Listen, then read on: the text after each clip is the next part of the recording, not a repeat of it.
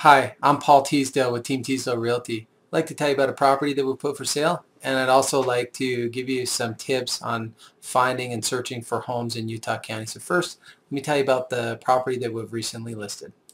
This Provo home is a uh, Provo City Home Beautification Award winner uh, for its uh, restoration. The home was built in 1900s and how beautiful it looks now with its landscaping. It is absolutely stunning.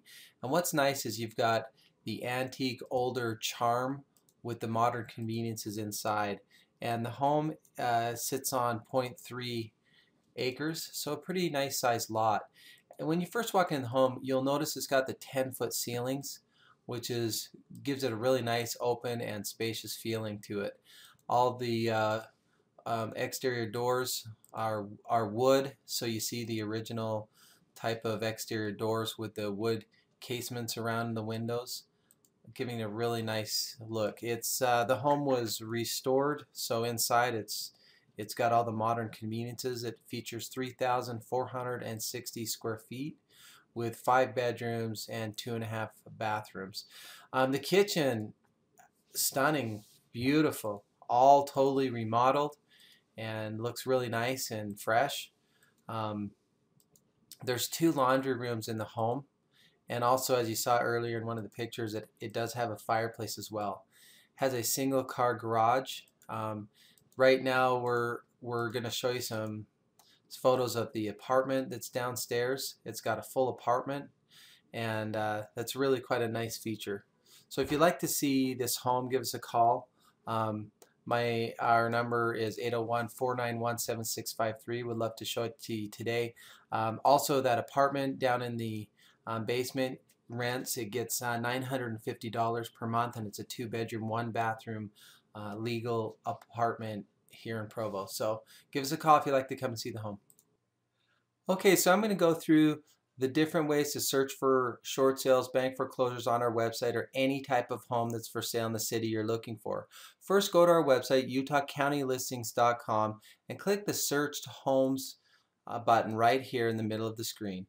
Um, and what will come up is a list of all the preferences that you're looking for in the city. You want to make sure that you have got highlighted right here by city. That's the way that we're going to do our search for, for right now. And also the property count over here on the right is going to show you how many homes are for sale.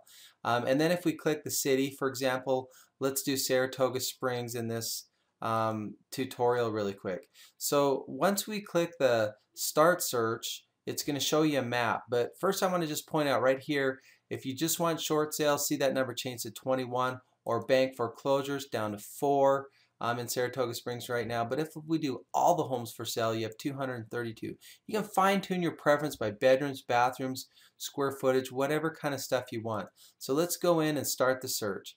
And when we start the search, here comes the map, and let's zoom in a little bit on it. You can zoom it in or zoom it out, and you'll see in this area of Saratoga Springs. You can scroll over the homes and little pictures will come up and a brief description. So let's go into this one right here. And so you see bedrooms, bathrooms, square footage, and information all about the home here over on the left. If you want more information about that particular home, fill out the request more information right here and this will come directly to me and I'll answer any questions you have about this particular home. Now um, it's really important if you like the house to save it. If you save this particular home, which I'll do right now, the home has been added to your saved favorite list.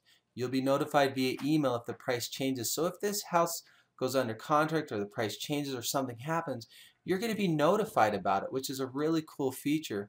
But more importantly, it's going to be in your saved homes um, button. So it'll be saved here. So if you click this button right here, the saved homes, your home is now saved here.